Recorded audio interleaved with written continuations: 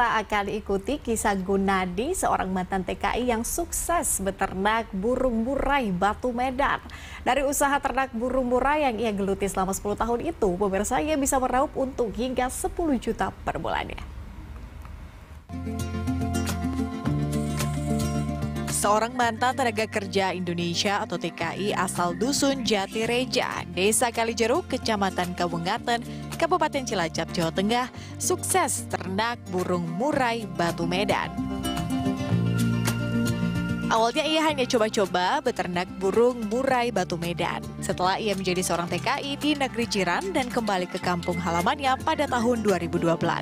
Nah, Tak disangka, usaha ternak burung murai batu yang awalnya bermodal tiga pasang indukan ini terus berkembang. Saat ini ia memiliki indukan murai batu sebanyak 8 pasang. Dari usaha ternak burung murai yang ia geluti selama 10 tahun tersebut, kini ia bisa meraup keuntungan hingga 10 juta per bulannya. Burung murai batu harus konsisten, terutama itu jangkrik sehari dua kali, pagi dan sore air tiap hari harus diganti. Kebersihan kandang wajib. Ya.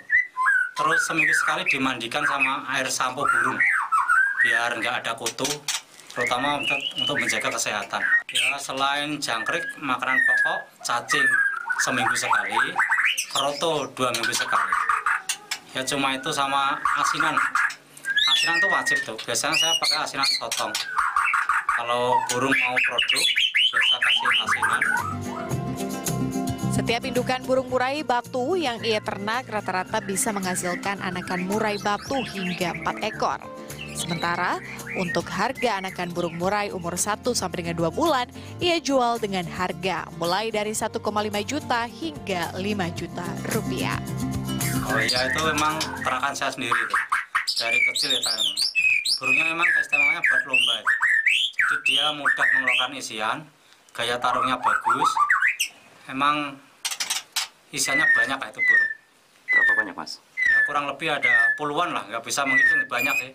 Ya dari piala-piala Bupati Cup, terus piala-piala event-event besar nasional. Baru kemarin tuh yang event paling bergensi lah di SMN New Cilacap Bercahaya tuh. Itu event paling bergensi.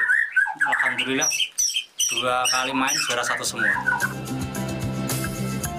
Sementara untuk pembeli sendiri, selain dari wilayah Kabupaten Cilacap, ada juga nih pembeli dari kota lain seperti Bandung, Bogor, Jakarta, Banyumas, Surabaya, dan juga dari Samarinda.